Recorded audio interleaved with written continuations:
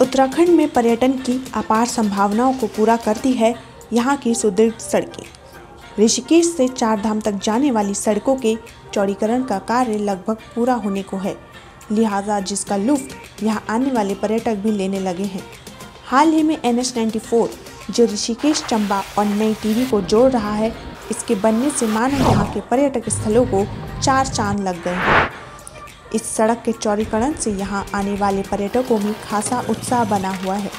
बीते दिनों यहाँ आने वाले दिल्ली और नोएडा के पर्यटकों ने राज्य के अलग अलग जगहों पर राइडिंग की और उन्होंने सरकार और प्रशासन की सराहना करते हुए कहा कि अब यहाँ आना बहुत आसान और सुरक्षित हो गया है। इसके साथ ही उन्होंने लोगों से भी अपील की कि वे भी उत्तराखंड में पहुँचे और यहाँ की सुंदर वादियों का आनंद लें। गौरतलब है कि बीते वर्ष प्रदेश के पर्यटन को मानो कोरोना का ग्रहण लग गया था। लेकिन इस बार उम्मीदें हैं कि यहाँ देश और दुनिया के टूरिस्ट पहुँचेंगे ताकि यहाँ के कारोबारियों को फ़ायदा मिल सकेगा और एक बार फिर से उत्तराखंड पर्यटन पटरी पर लौट सके। उत्तराखंड तो हमेशा हमारा फेवरेट रहा है। डेस्टिनेशन जब भी हम, खासकर हम बाइक में जाते हैं ऑल ओवर इंडिया तो ऊपर से हमें उत्तराखंड हमें इसलिए अच्छा लगता है क्योंकि एक तो यहाँ के जो लोग हैं, बहुत ही इनकी मीठी बोली है, खाना पीना और हवा पानी बहुत ही डिफरेंट है।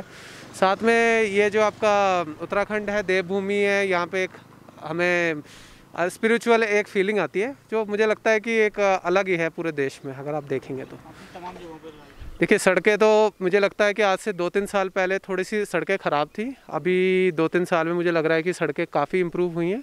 खास करके आप उस, उत्तराखंड और उत्तरांचल वाले रोड पर देखेंगे तो खासकर बारिशों के दिन काफ़ी ख़राब रहती थी। आज अब ये सीज़न शुरू हो रहा है तो इसमें रोड काफ़ी इन्होंने अच्छी बनाई है।